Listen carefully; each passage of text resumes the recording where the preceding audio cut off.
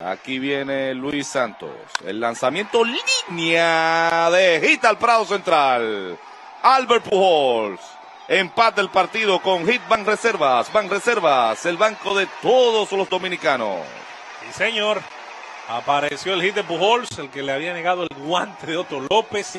Casi se la llevan. El que, el que luego tuvo el batazo para doble matanza. Y ahora no es que no estuvo cerca, como dice José Antonio, de una gran jugada, pero aquí el casi le corresponde ahora favorablemente a él.